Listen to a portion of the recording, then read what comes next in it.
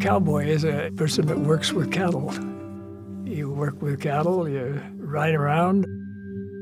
It's six years of doing series, being on a horse every day, and then doing a lot of movies where you're on horses every day, and then all of a sudden you're never on a horse again.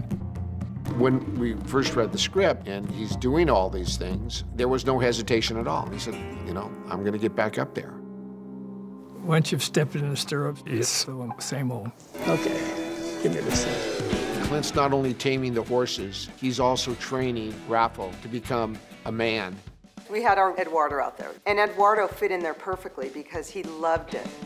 This was my first time riding a horse on my own. I took some classes, and I really love ride a horse. He got good real fast. When I go back to Mexico, I want to ride. Some of the behaviors these horses do is just like a horse whisperer would do. Like he's being really erratic for a minute and then Clint will put his hand on the horse's forehead, calm him down, and literally get him to put his head down. How did you do that? We did it, partner. We did it. Clint loves animals and the caring of horses, and you see that every time there's a scene with horses, whether he's riding one, whether he's in a corral with one, or he's just talking about it. He loves animals.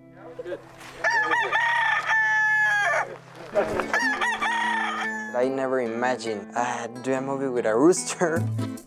The boy's rooster, he named him Macho because he thought he was a winner, and this rooster is, a, he figures very highly in this picture. I love the rooster. Uh, the name of the rooster is Jet. It's beautiful. Each one would do a certain thing. Like one of them, you could go like that, and he'd jump up and land on your hand. Another one would go like that, and you'd land on the other hand. One of them would attack you if you wanted, so it was uh, something to watch.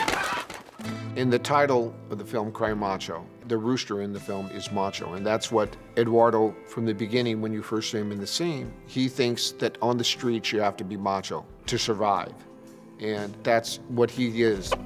Yeah. I hear you loud and clear.